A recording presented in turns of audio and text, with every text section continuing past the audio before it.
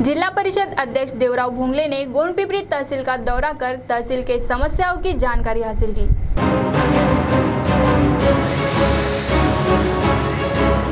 जिला परिषद अध्यक्ष देवराव बोंगले ने गोंडपिपरी तहसील का दौरा रविवार को किया। इस दौरान उन्होंने अनेक गाँवों को भेंट दी तथा गांववासियों की समस्या के संबंध में जानकारी हासिल की।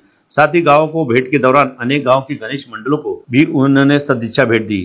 इसके अलावा गणेश मंडल की ओर से किए गए उत्तम नियोजन के पार्श्वभूमि पर मंडल के अध्यक्ष तथा तहसील में ग्राम पंचायत के चुनाव में विजयी उम्मीदवारों का शाल और सिफल देकर सत्कार किया गया।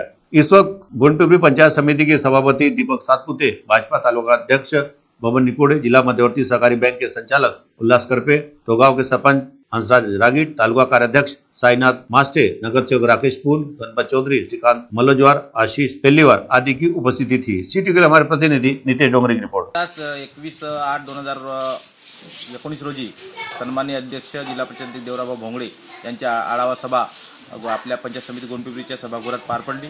या सभेमध्ये पूर्ण परिसरातील गोंडपिपरीतील सर्व सरपंच उपसरपंच ग्रामपंचायत सदस्य प्रामुख्याने उपस्थित होते.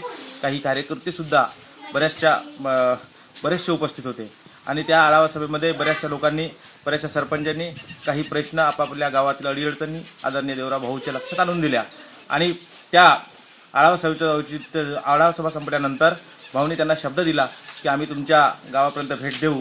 आणि या गणेश स्थापना झाल्या आणि गणेशोत्सवाचं औचित्य साधून आदरणीय देवराभाऊ भोंगडे हे प्रत्येक गावातील गणेश मंडळांना शक्य होईल तेथे तिथं पोहोचण्याचा प्रयत्न केला. आणि या दौऱ्यामध्ये भारतीय जनता पार्टीचे सर्व तालुका अध्यक्षापासून तर सर्व पदाधिकारी आज आदरणीय देवराभाऊच्या सोबत होते.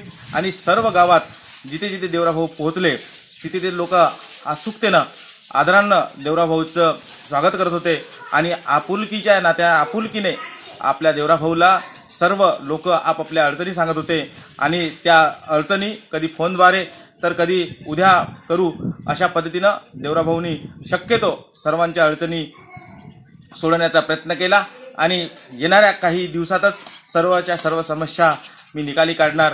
असं देवराभाऊने आश्वासन सुद्धा दिलं आश्वासन सुद्धा दिलं.